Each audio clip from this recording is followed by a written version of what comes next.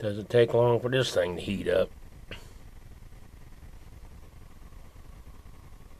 Put it on light. We've got an old 1940s we use for our toast.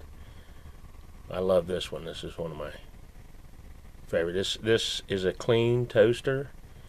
Works excellent. And it'll outlast what's on the stores now. That was on light. I love it. Uh, they don't make them like this no more. I hope you enjoy it. Your toaster's on the way. Thank you.